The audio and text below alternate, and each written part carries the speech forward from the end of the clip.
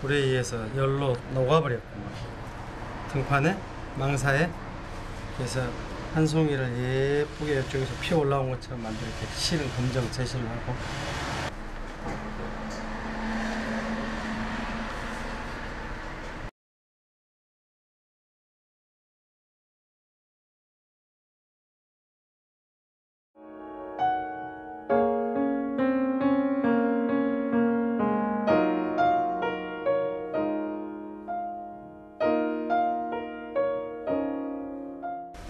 등산 잠바가 아, 이렇게 열에 의해서 데리다가 아, 사고가 났네요.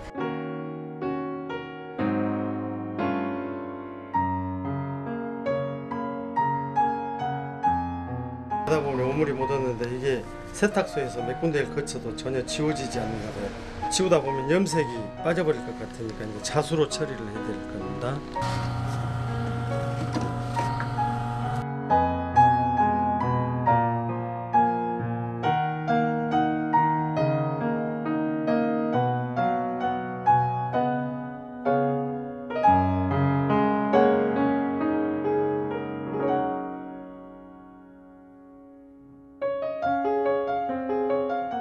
네, 오물이 묻어서 전혀 세탁 과정에서 지워지지 않는 부분을 자수로 예쁘게 처리를 했습니다. 한번 보십시오.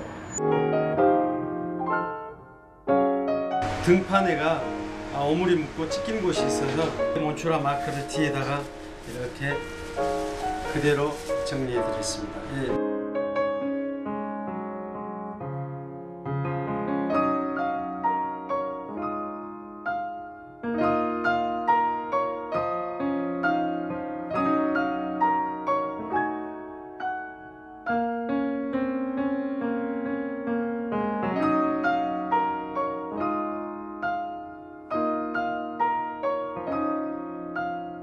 항상 연구하고 어, 노력합니다.